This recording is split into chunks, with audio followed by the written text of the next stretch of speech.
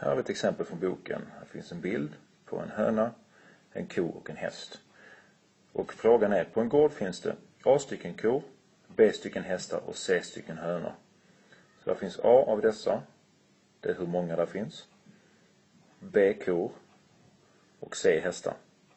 Så vi vet inte hur många där är av varje, utan detta är vi får veta. Det finns A stycken hönor, B stycken kor och C stycken hästar. Förklara vad som menas med A plus B plus C. Vad betyder detta då?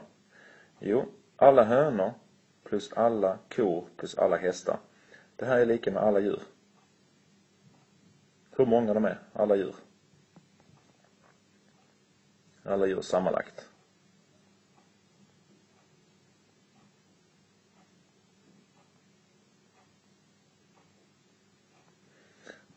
Så är sammanlagt antalet djur. I B-uppgiften då, så står det teckna ett uttryck för hur många ben som varje djur har sammanlagt. Ja, då får vi först titta på hur många ben varje djur har. Ja, hästen, ja den har ju förstås bakben och framben så det är två ben till här. Så en höna har två ben. En ko, den har fyra ben och en häst har fyra ben. Om varje höna har två ben, då sammanlagda antalet ben för varje höna, det är ju 2a. A är hur många hönor vi har och tar man gånger två så får man hur många ben. Till exempel, om A är 10 hönor, då kommer alla hönor tillsammans ha 20 ben. Kon då? Ja, den har fyra ben. Då blir det 4 gånger B. Så alla kor, alla sammanlagt antal korna, om det är två kor blir det åtta ben, om det är tre kor så blir det tolv ben. Så man tar fyra gånger antalet kor. Och likadant gör man med hästarna. 4C. Så får man alla benen för varje häst. Och det här är det färdiga uttrycket. Och för att vara väldigt tydlig då sätter jag parenteser att det är allt det här man ska räkna ut för att då få reda på hur många ben det är sammanlagt. Och då är det stycken som är enheten.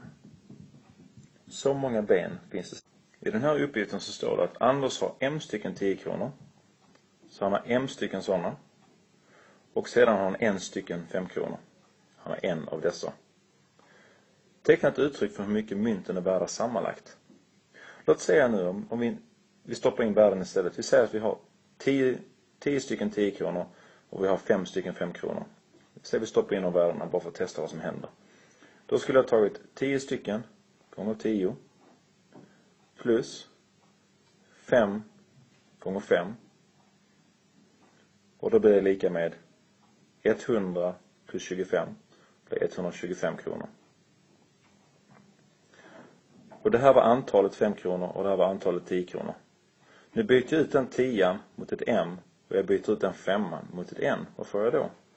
Jo, 10M. Det betyder 10 multiplicerat med M. Plus 5N. Det betyder 5 gånger N. Detta är hur många femmor, det här är hur många tior. Och det här är det färdiga uttrycket. Och så sätter jag en parentes. Och hur mycket, värda, hur mycket de är värda. Jag måste ju ha med den enheten som bildas också. Så jag skriver kronor. Så ska de gjort.